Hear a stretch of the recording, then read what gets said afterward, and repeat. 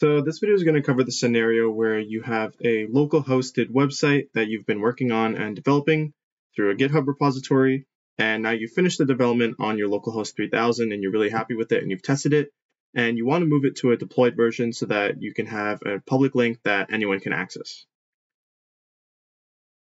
So to do this, we're just going to be using a free account on AWS. And once you go to the AWS website, just sign into the console. If you don't already have an account, you can make one, it's free. And now once you've made an account and you're on the dashboard, you're going to go to their Amplify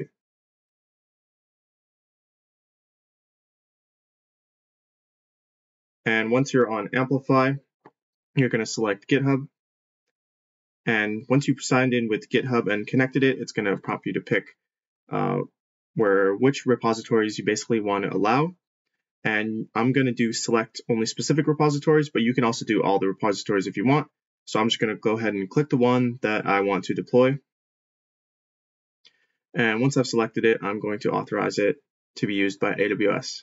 So once you've authorized it, you should be able to see it in your updated repositories. There it is make sure you click on it and make sure it has the branch that you want. So here I've got the main one selected, but if you have a specific one, make sure you select that one before you go to the next step. And here you can add in any environment variables you want. This project that I was working on does not need any, so I'm not going to add anything, but that is the place that you would put it. I'm going to go to next and I'm going to save it.